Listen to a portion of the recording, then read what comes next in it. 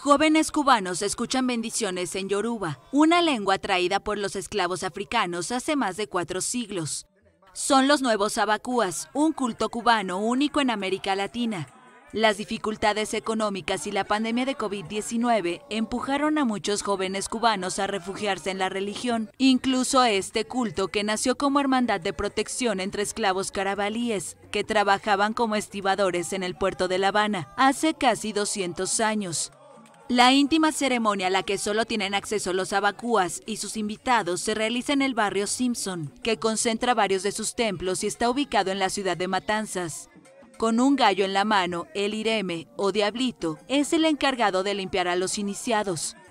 Este abacúa, vestido con imponente atuendo de diablo, pasa el ave por el cuerpo de los arrodillados para eliminar lo malo, antes de que ingresen al cuarto sagrado donde se realiza la ceremonia secreta de juramento.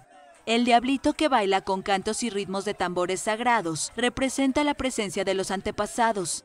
Se calcula que en Cuba existen unas 130 potencias, juegos o plantes, nombre indistinto de estas agrupaciones integradas solo por hombres heterosexuales.